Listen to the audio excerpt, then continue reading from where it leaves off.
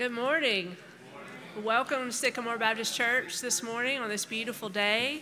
Um, I want to uh, bring it to your attention a few announcements that we have lots of activities going on uh, as summer gets uh, kicked off this week. Um, I hope that everyone has a, a, wonderful Memorial Day as we remember those um, who gave their lives for our freedom uh, this weekend. We do want to um, let you know about the 2nd of June, which is this Thursday night. Um, at Chick fil A, we're going to be having a spirit night. So, everybody come on out to Chick fil A from 6 to 8 um, this Thursday and just say spirit night. And you can, when you order, and part of the proceeds of that are going to go to help uh, fund our mission trips this summer. Um, share it around with your friends. We've posted it on Facebook. Share it on Facebook. Uh, let all of your families and friends know to come out that night. You can go through the drive through and say Spirit Night, or you can come in and visit with us while you're there. 6 to 8 this Thursday night. Next uh, Sunday morning, we'll be having our uh, regularly scheduled business meeting. Um, and then the following Monday, on June the 6th, our students will be leaving to go to MFuge. And we're going to be leaving at 9 o'clock in the morning. And I hope that you will make um, just keep us in your prayers as we go to um, Mobile, and we're going to go serve in the community down there in Mobile and work um, with, with families and children and work on houses. And so we've got a lot of exciting events planned for the students that week. So I hope that you'll keep us in your prayers. There are a lot of other announcements in your bulletin. Excuse me. Um, so keep that handy as you pray this week and the prayer announcements at the bottom. Uh, just remember those this week. I wanted to read from Psalm chapter 90 this morning. Lord, through all the generations, you have been our home. Before the mountains were born, before you gave birth to the earth and the world, from beginning to end, you are God. Isn't that a comforting thought that the Lord is sovereign over all, in all time and all places? Would you pray with me? Heavenly Father, I thank you so much for today. I thank you uh, that as we celebrate this Memorial Day, we can remember that you are sovereign from beginning to end. And there is nothing that happens in our world that doesn't pass through your hand. And Lord, I pray that you would uh, just be with those who are remembering um, today, those ones that they love that have gone on and given their lives the ultimate sacrifice for our freedom. Lord, we do thank you for the freedom that we have in this country. We thank you that we can freely sit here today and worship you and sing songs of praise to you. And Lord, that's uh, a gift from you, and may we never take it for granted. Thank you so much for this body of believers that's gathered together today. I pray for our pastor as he brings your word to us later that, that he would speak the truth to us and we'd be challenged and changed because we've encountered your word today. We love you, Lord, and we want to honor you with everything we do and say. We pray this in the beautiful name of Jesus. Amen.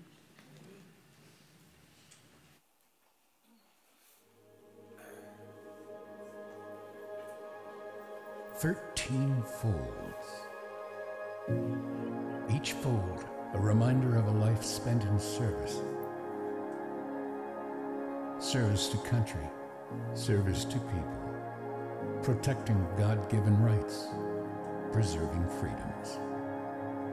Thirteen folds. At each fold, we remember the friends and family left behind, the mothers and fathers, sisters and brothers, sons and daughters left to pick up the pieces.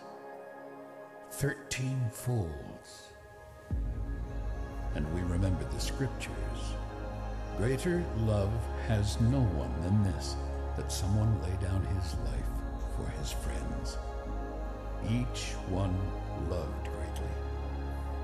We also remember that blessed are those who mourn, for they will be comforted. And today we pray, God be near those who need comfort. So, draw close to those who mourn. Make your presence and appreciation known. Let this church be a safe place, a comforting place. And let us honor those who have given their lives in service to this country. Thirteen folds to signify a life given to service. Amen.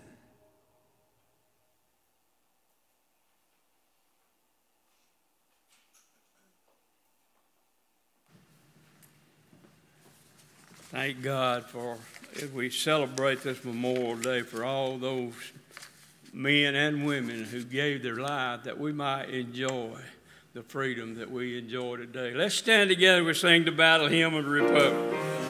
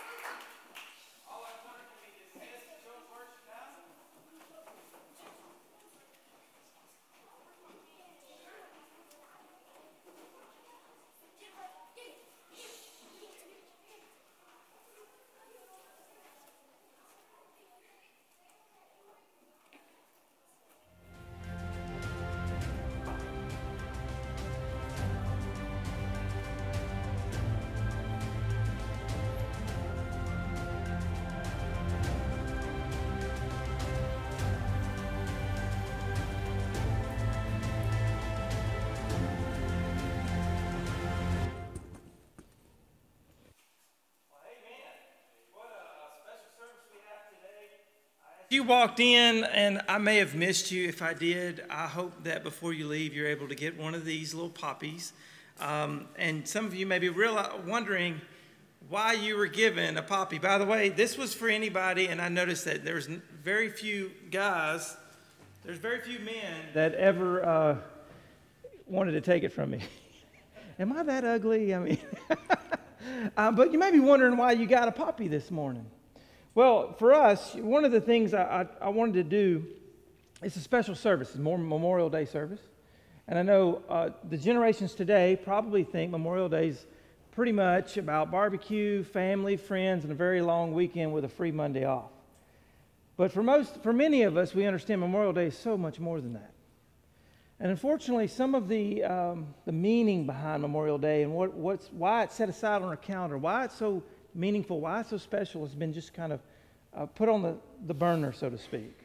But you, re- you received a poppy uh, today because uh, it has some significance. Years ago, decades ago, uh, this poppy was one of the flowers that was known as the remembrance flower. And there's a reason for that. And I want to share just a little bit about that. Uh, a Canadian doctor in World War I, John McCrae, he was in battle, and he lost his best friend, Alexis. He was a lieutenant in that, in that war. And there was no clergy around. And so, because there was no clergy, John had to do, officiate the funeral himself of his best friend. And now, amongst that tragic moment, how emotional that would have been, not only the, the, the carnage that he had witnessed already, all the bloodshed he had witnessed, but losing his best friend on the battlefield as well and having to preside over that funeral. He looked out as he did that funeral and he noticed something about the makeshift graves all around. Though the land was worn torn with battle, there was something that was growing, and that was poppies. The first thing that grew back, John McCrae noticed, were poppy flowers. And on these graves, there were poppy flowers springing up. So he coined a, a very now famous poem called In Flanders Field. I'd like to read that poem for you now. In Flanders fields, the poppies blow. Between the crosses, row on row, that mark our place. And in the sky, the larks, still bravely singing, fly. Scarce heard amid the guns below, we are the dead. Short days ago we lived, felt dawn, saw sunset glow. Loved and were loved, and now we lie in Flanders field. Take up our quarrel with the foe. To you, from failing hands, we throw the torch. Be yours to hold it high. If you break faith with us who die, we shall not sleep, though poppies grow in Flanders fields. That poem became very famous, and a teacher in, in France and a teacher in America, because of this poem, decided to start selling poppies imitation poppies, to raise funds for those families that have lost loved ones in the war. This became a flower that families would take and they would go to the cemetery in the graveyard and they would adorn that family member that was lost to war with these flowers. As I just wanted to uh, try to share a little bit of history with us and, and give us a little bit of visual. Because today we, we do take a moment to honor those fallen men and women who, who gave it all, their very life, so that you and I can have that barbecue and can enjoy those moments and can sit in a building like this one and worship God freely. It's a freedom we, we get to enjoy. And, and, and we need to stop because some of us are very affected by what I'm talking about. Because we've lost an uncle, a brother, a sister, a, a father, a grandfather, a mother, a grandmother in a war, in a battle somewhere. Some of us are reminded that we have family members right now currently serving. So hopefully you'll take this home and remember this. And, and I want to share this as well. The video we opened up with had a scripture, and we're going to kind of go over that scripture.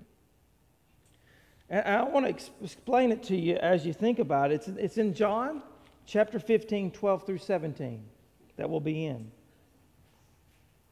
This idea that there's no greater love that can be displayed than, a, than if a, a person lays down his life for his friend, right? You heard that in the video. Now, I know that when we listen, we read that, we, we, we today can think of, well, there was men and women who had the kind of love that was willing to fight, bleed, and die. I, I thought about it. I've, I've never been there. I, have never been in the trenches or the foxholes or the barricades or holding a weapon next to my brother or in, in arms or sister in arms. I've never known what it was like to be to hear the and feel the tremble of cannon fire or bullets whizzing by. So what what I want to think about it this morning is as we honor them and their sacrifice, their love, perhaps God has a lot to say about us too as Christians. You see, they, they fought a war, right? They fought battles and wars, these, these ones we honor today. Friends, we, we're Christians. We're in a battle and a war too. We fight every day a real war that's raging, a spiritual warfare for the souls of many across the globe. We fight for a cause as well. The question I want us to pose is Christian, though we, we are soldiers in God's army, do we have the kind of love that the Bible des- describes? Or the kind of love that those men and women died with? I, I hope that this morning, as we walk through scriptures, that it challenges us to think wait a second, what kind of love do I have for, for my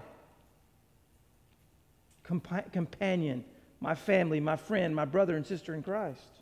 So look with me in John 15, 12 through 17, this is my commandment. This is Jesus' farewell discourse, as we call it. It says, This is my commandment that you love one another as I have loved you. Greater love has no one than this, that someone lay down his life for his friends. You are my friends if you do what I command you. No longer do I call you servants, for the servant does not know what his master is doing. But I have called you friends, for all that I have heard from my Father I have made known to you. You did not choose me, but I chose you and appointed you that you should go and bear fruit, and that your fruit should abide, so that whatever you ask in the Father's ask the Father in my name, he may give it to you. These things I command you so that you will love one another. Love one another. Is that what now, I know when we look at this scripture, we like to pull it, a lot of people like to pull it out of context and, and speak only of the example, the prime example we have in Jesus Christ, right? That he laid down his life for his friends. We'll talk about that in a moment. And that's true, but Jesus is saying, listen, I, I showed you the, I'm showing you the example, but you as a Christian love each other this way. And so that's the, that's what we need to grab our, uh, wrap our minds around. How are we loving one another right now? Uh, let us walk through some of this. Verse 12. This is my commandment that you love one another as I have loved you. The words of our Lord and Savior Jesus Christ says in his final, basically his final discourse, he gives us a command love one another. Love one another. Now, all of us understand that we who are saved by Jesus Christ's love are marked by his love, aren't we? And of course, we understand being marked by Christ's love, that we should show his love to others. We, we get that. You don't have to have some seminary degree to know that when Christ loves you and saves you, you're supposed to display that love to others. Amen? We know that. But if we're honest, is that the reality? Do we find it sometimes that we're not as loving as we should be to our brothers and sisters in Christ? Do we find it sometimes that our brothers and sisters in Christ aren't as loving to us sometimes? I think if we've lived long enough, we can all say there's been moments in our life where I personally have been uh, not as loving as I should be to a Christian brother or sister, and somebody else who's a Christian brother or sister has not been as loving as they should be, be to me. So the reality is, uh, we, we need this commandment from Jesus Christ because it's not easy to love one another. Now, some, some people can call to mind right now. Don't call out any names, by the way. but we, we can think immediately, I say, is there someone that's really hard for you to love? And you're like, oh, wait a second, not just someone. I got, right? Like you could recall somebody in your life, somebody even that you probably go to church with, that you find a little more difficult to love than someone else. A little more trying. He or she tries your patience a little more. They, they grate on you a little more. you you find your nerves being pressed in certain ways you didn't know they could be pressed. When you're around that person, they, they're just a little more difficult to love. And Jesus says, but I'm giving you a commandment because I know you're not going to do this naturally. You've got to, you've got to, you've got to work at this. It, it's going to take some effort, right? It takes effort to love. It takes work. It takes time. It takes an investment to love. Amen? Anybody in a marriage that's a, that's a healthy, good marriage knows that's true. It's not always the reality that we love one another the way Christ commands. And how does Christ command us to love one another? Well, he qualifies it. I love it. I mean, I love Jesus. I love his word. It's just amazing. Like he's not going to leave it up for your your your or my uh, opinions. Like love one another. Well, that can be anything, right? I can figure out that. I can I can take that love. If I if I'm defining that love, it might go just to certain a certain level, but but that's it. I'm going to love you at a level seven, that 10 you're never going to reach. I, I, I can kind of define that myself. And Jesus says, No, no, no, no. I'm defining what that love looks like. And that love looks like this I'm commanding you, I'm commanding you that you love one another how? As I have loved you. Oh, whoa, whoa, whoa. Now, Jesus, you didn't have to go that far. As if it wasn't already hard enough. Now you're asking me to love my brother and sister in Christ as you have loved me. You just took it not just to the 10, you took it to the 100. You, you blew it through the roof now. You, you're, you're saying that I've got to love people the way you love, the way you showed love? Absolutely. Oh, it's not easy, but through Christ we can do it. And He commands us to do so. Love others the way Jesus loved others. As we read Scripture, we can see Jesus was full of amazing love. Whether he was helping the blind and healing them, or helping the sick and, and healing the sick, or, or feeding the hungry, or rescuing the demon possessed, or sharing the gospel with others, or sitting down and taking time to teach people God's truths Jesus was full of God's love and displayed God's love perfectly in Scripture. He loved, um, he loved so much perfectly that he just wanted us to love him back. There are so many wonderful examples of Jesus loving the downtrodden, the outcasts of, our, of the societies. He showed love beautifully he, was not, he did not show it prej- with any prejudice. He just loved people. He loved them in truth. He loved them with mercy and grace, but also with a firm hand and a firm word. But there's also another way Christ shows love. Verse 13.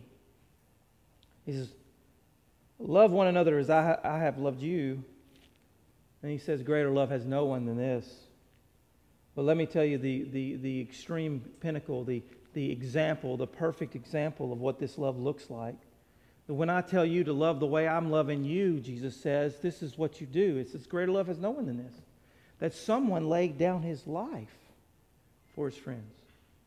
That Christian brother and sister, that that's the kind of love we should have one, one for another. That, that we have this love, this such beautiful passionate, unconditional love that we're willing to lay down our life for our friend.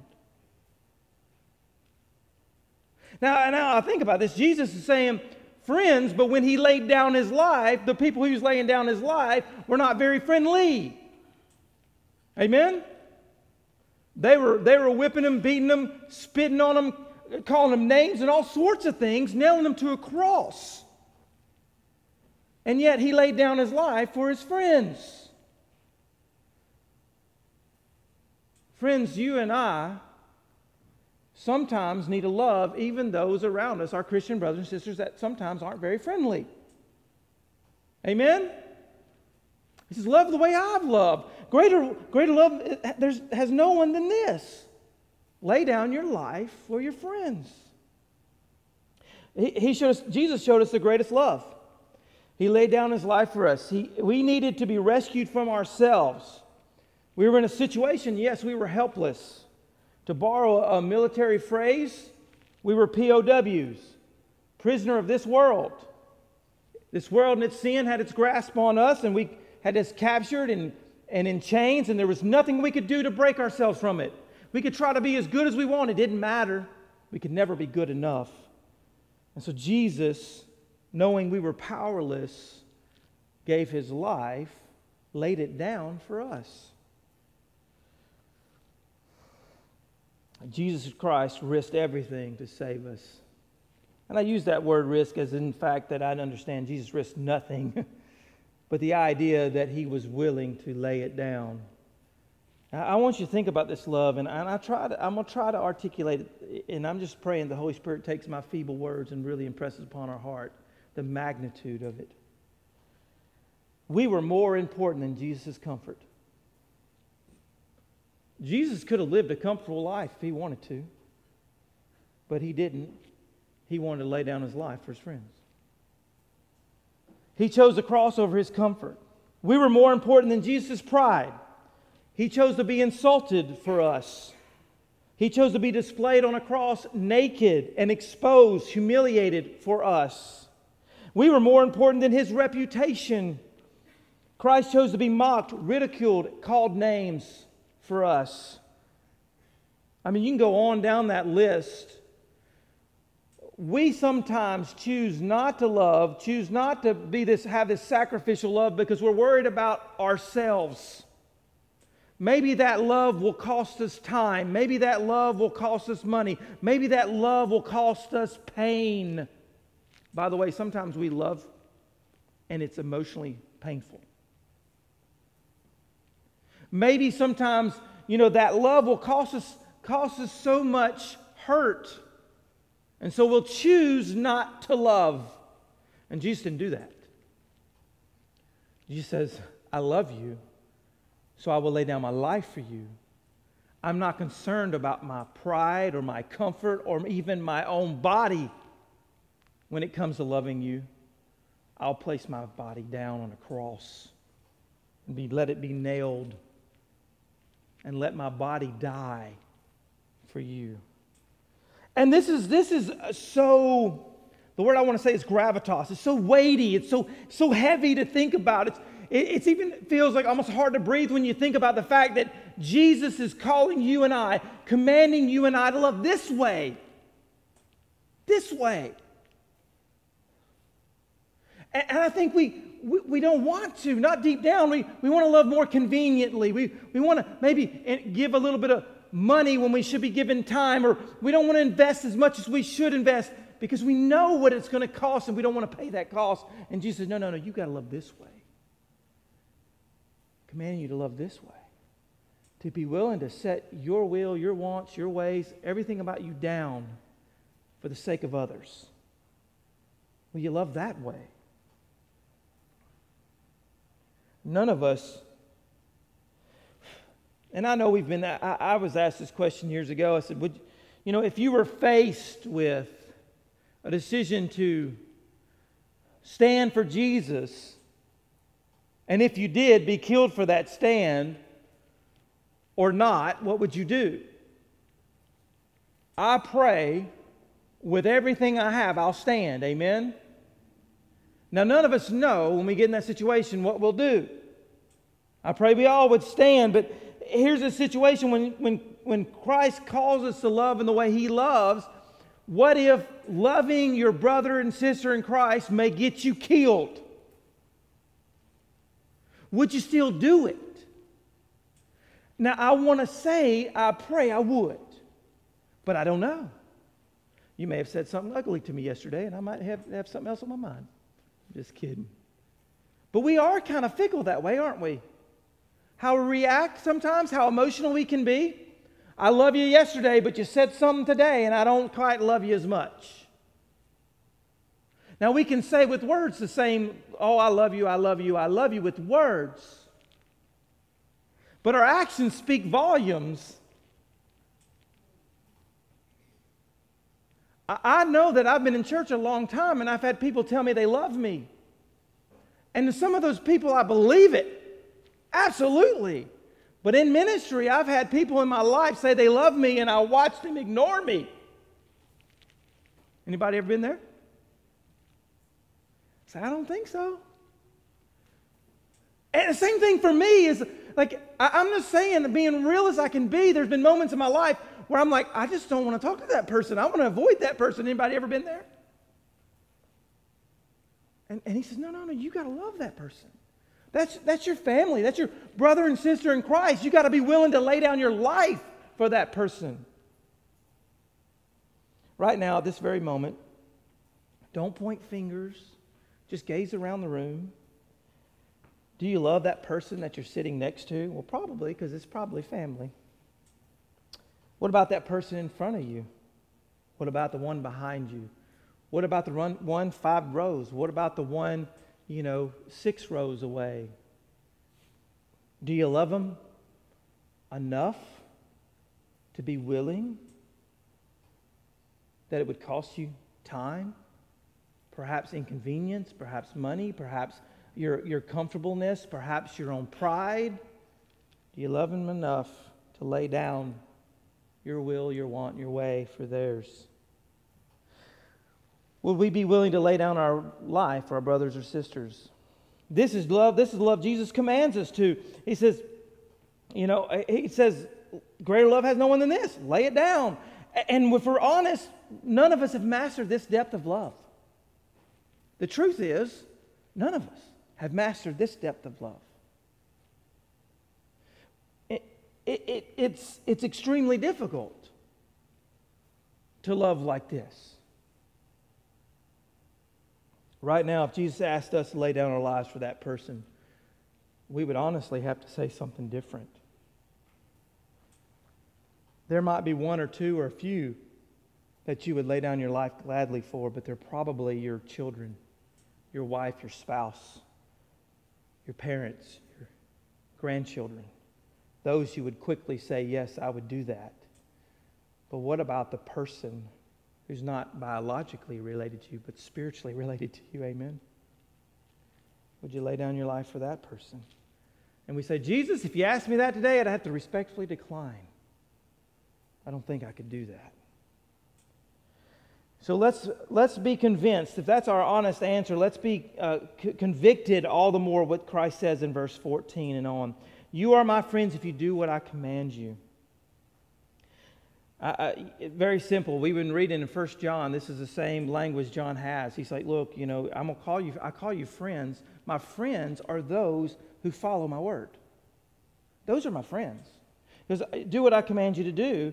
He said, and it's also like, look, Jesus, but I love you. I am your friend. Well, then do what I command you to do. Be willing to lay down your life. Well, I can't do that, but you, but you just said you're my friend. Lay down your life. Move on to 15. No longer do I call you servants, for the servant does not know what his master's doing, but I have called you friends. Now, I love this verse. Because Jesus says, I, am not calling you, yes, he's our master and our Lord. Amen. Jesus is Lord. He says, But no longer do I call you a servant as I am your Lord, but I'm going to call you friends. Why am I going to call you friends? Because of this. For all that I have heard from my Father, I've made known to you. So, uh, unlike an earthly king, or maybe like, let's break it down to an earthly boss, where you just are being told, go clean the dishes, go do this, go do that, go do that, and you might want to ask, well, why? I don't have to tell you why. I'm your boss. And though Jesus has every right as Lord to do that, he says, I'm calling you friends because what I'm doing is I've made known everything that the Father teaches, and I'm telling you, and you're learning it. He says, For all that I heard from my Father, I made known to you. I'm teaching you these things so that you'll know why this commandment is so important. I find that's one of the important things for the generations coming up. When I was growing up, it was different. My generation, my dad could tell me what to do, and I dare not ask why. Some of y'all know. Ask why. That's just, oh, that's just two more licks for you, buddy. You know, don't ask why. My mom would tell me, and I wouldn't ask why. I would go to school, they would give me an assignment, and I wouldn't ask why. But this generation wants to know the why. But you know what the amazing thing is? When you give them the why and the reason, oh, that makes sense.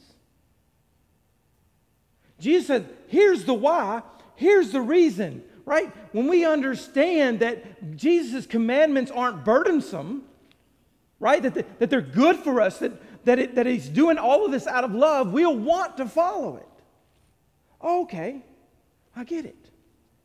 This is for my good. Well, I want to follow that then if it's for my good. His, I call you friends. That for all that I've heard from my Father, I've made known to you. Look at verse 16. You didn't choose me, but I chose you and appointed you that you should bear fruit. Go and bear fruit. Jesus died for us, though yet he had never seen, well, physically seen our face, like he's seen our face because he's God. Amen. But Jesus died on the cross knowing one day you'd be born. Jesus didn't just die for those that watched him hang 2,000 years ago. Jesus died for everybody here today, too. And you know what? If the Lord tarries another hundred years, guess what? He died for them, too. You didn't choose me, but I chose you, and, and I did something.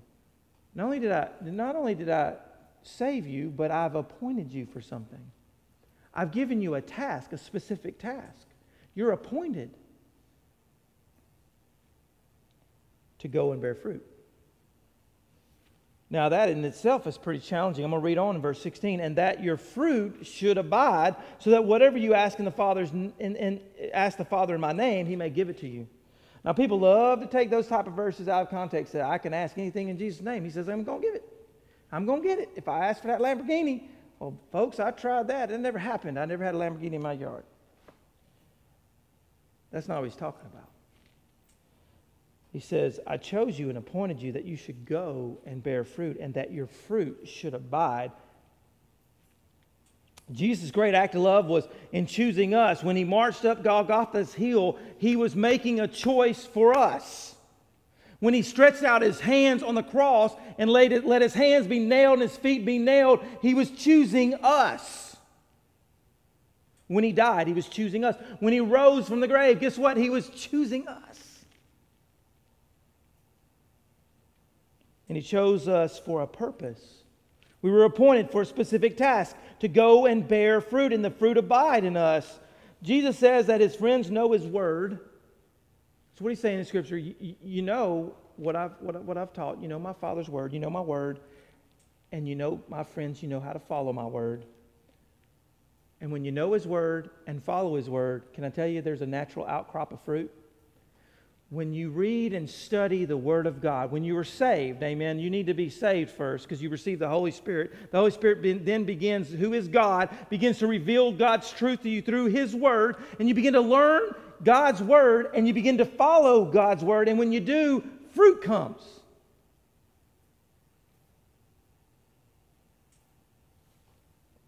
Such a sweet passage. What a friend we have in Jesus. If we're his friends, he said, we, we learn from him. His friends learn from him.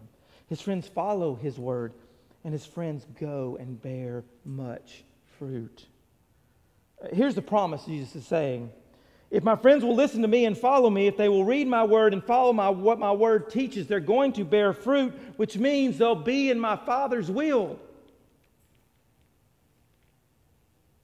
When you study the Word of God and you follow the Word of God, you're pleasing the Father because you're in His will. When you bear fruit, you're pleasing the Father. So when you're bearing fruit and you ask for things of the Father, you know what you're going to be asking for? His will be done. And He'll answer those. Uh, the problem is, a lot of Christians never read His Word or rarely read His Word. Uh, they don't choose to follow His Word. They, they begin to think, well, that's just mere moral suggestions for my life. No, it's not. Jesus never mixed words. God's word is not something that we can just arbitrarily decide what the words mean. They have a specific meaning. This is a command that we should do these things. Why do some people not find churches to be loving places? If I, I have, I mean, I just saw a post and I was very, I'll be honest with you, as a Christian, I was very offended by the post. It wasn't from anybody at our church. It was someone who didn't go to church and hasn't been to church. And I've taught this person for many years, and, and this person uh, hasn't gone to church for many years. And, and, the post said, This is why I don't go to church because of these people. And they begin to describe like church people who said these nasty things about them. And I'm going to tell you that that was really offensive to me. Because, one, you, you've just you just lump this whole group of people, and there's hundreds and thousands of people you never even talk to. Because these two people that, that say they go to church were ugly to you, now all of a sudden we're all ugly to you, and I have an issue with that. But, but I also understand that there, there has been times where people have come into churches and felt unloved and unwanted. I, I, mean, anytime I go out and, and talk to people, I'll, I'll eventually run into somebody who will tell me a story like that one. Well, I used to go to church until so and so said this and did this, and we're so unloving. Now, I also understand a lot of times people use it as a crutch not to come back in the building. Amen? Because let me tell you, I, I, I, t- I told one person this, this way. He said, Well, that person was just mean and, and ugly, and they hurt my feelings, and so I'm never going to that church again. I said, Well, you still working where you working? Because I guarantee you somebody been mean and ugly there, but you're still getting a paycheck. Amen? I'm not quitting my job because, because, because that person was ugly to me. But when one person, get off the soapbox, throw it away. But he says here, um, why, why do people go to church and find them unloving? Why, why, do, why, why, why is it that it's so? Well, perhaps, and here's some of the things I wrote, it, perhaps it's because we call ourselves friends of Jesus, yet we don't listen to his word. Could it be because we come on Sundays and hear his word, but we never follow his word? One of the things that, that uh, is really hard for me, I'll be honest with you, it's really hard for me. I am so thankful that this church is very encouraging to me. When, I, when I'm standing out there and people walk by me, I can't tell you how many people will encourage me. Hey, that, hey brother, that was, that was a good word. That, was, that, that, that sermon reached me, that sermon this or that. And, and that, that, I'm telling you, I appreciate that. I really, really do. But in my heart, what I want is for me and for all of us just to follow it.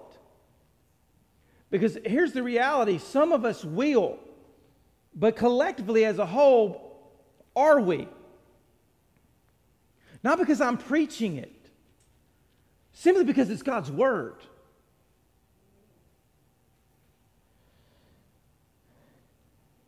Thus, we do not go and bear fruit because we're not following His Word. A church full of people uh, who don't, a church that doesn't bear fruit is a church full of people who rarely, if ever, make a difference in their community. They rarely share the gospel.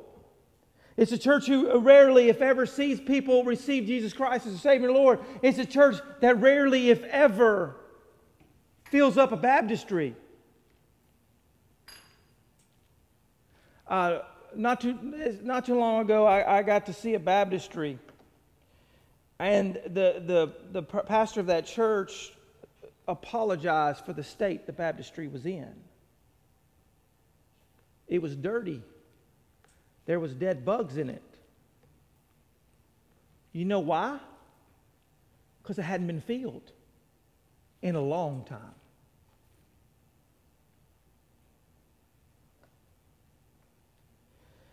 Is the reason so many churches are full of unloving people because they just don't read God's word and follow it and thus bear fruit? I, I do believe there's a lot to be said about that. And I'm just saying in my own personal life, that, that's what I've noticed in my life. Uh, years ago, when I lived by the American standard of Christianity, when I lived by the bumper sticker scripture and and you know and just got my little one verse in once every once in once in every couple of days guys i didn't bear much fruit i didn't but it was when i got serious about god's word and it's when i began to really study god's word. Not just come and sit under a pastor and listen to his word. Not just go to again another another shameless plug. We got some great sunday school teachers but it wasn't just when I just went to Sunday school class. It's when I went to church and I went to Sunday school class and I went home and I opened up my Bible and I had my notes. I took notes on what that preacher said. I read what, that, what those notes were. I went back and prayed through it. I, I wanted the Holy Spirit to show me, teach me. I, I, came to a realization in my life that I didn't want to be a baby in a high chair anymore, sipping up apple, applesauce. I said, Jesus, I want meat. I need meat. Help me. And I just began studying and I began learning. And you know what I started understanding? I started understanding the heart of God more. And not only that, but knowing what He wanted out of my life and how I should, how I should live to, to obey Him and, and to please Him and bring Him glory. And, and that just blew my mind. And I started bearing fruit. And friends, I'm not yet even close to arriving on any of that.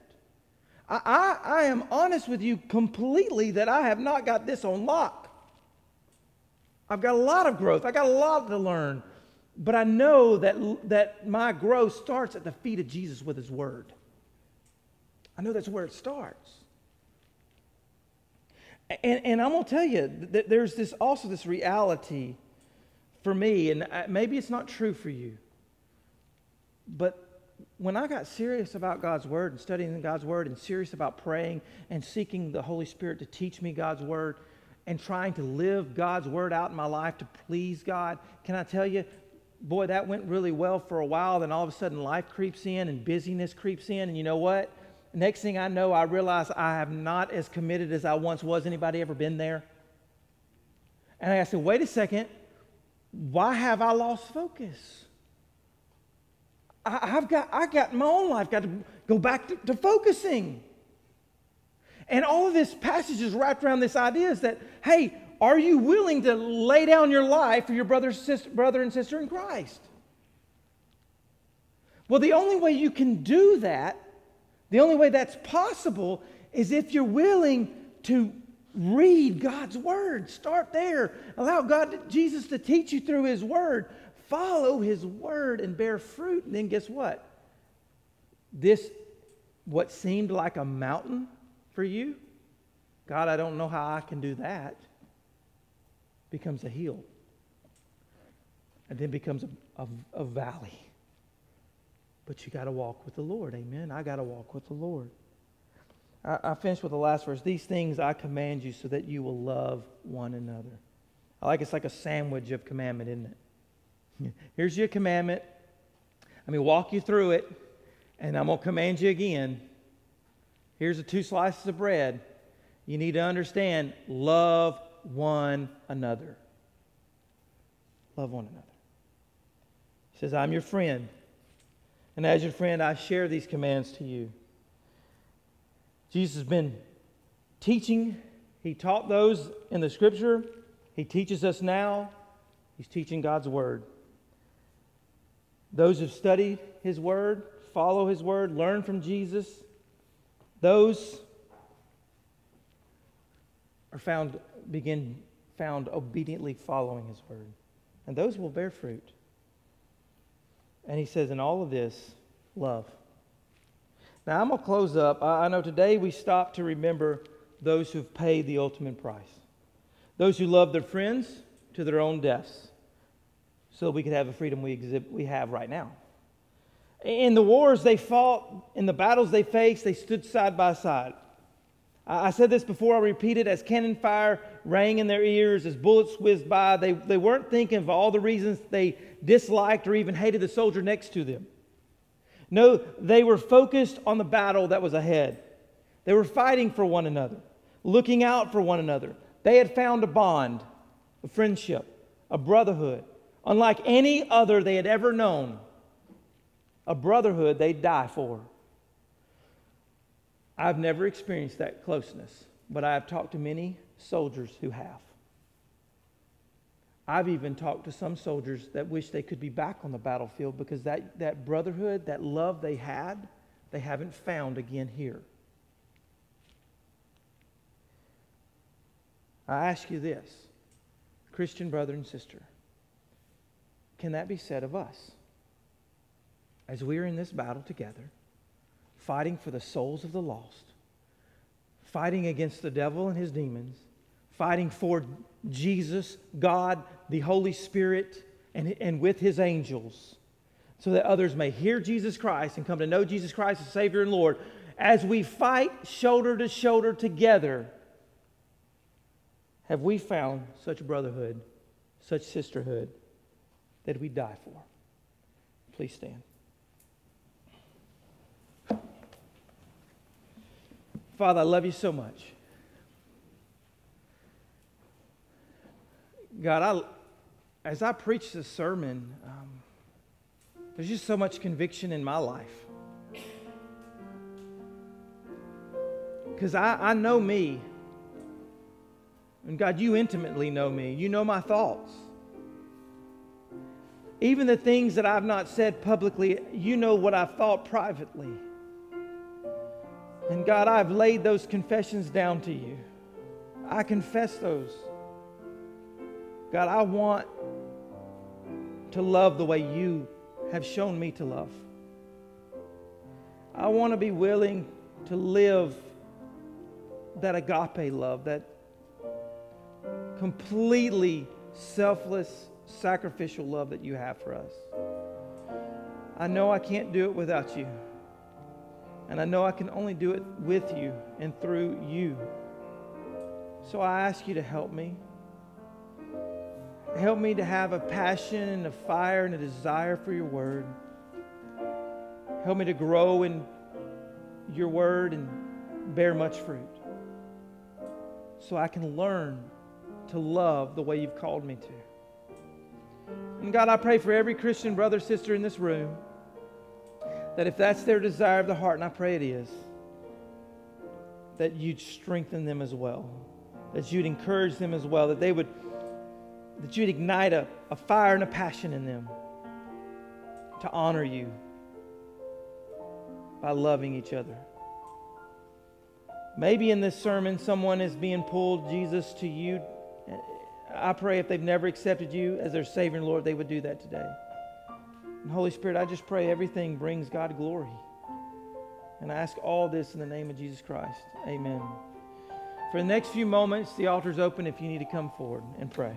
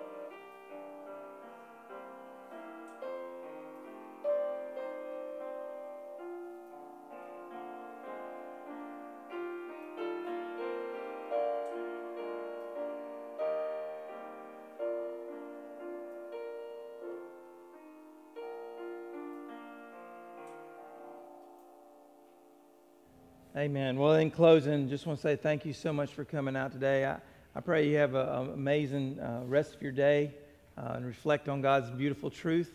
And uh, enjoy tomorrow if you have an opportunity, if you have the day off and you can be with family. Please enjoy that as well, of course. Uh, don't forget a couple of quick announcements. Wednesday, this coming up Wednesday, June 1st, um, we're doing an outreach. It's called Dinner. Just let dinner be on us. We're going to be across in the gravel parking lot. We're going to be um, making hamburgers and hot dogs.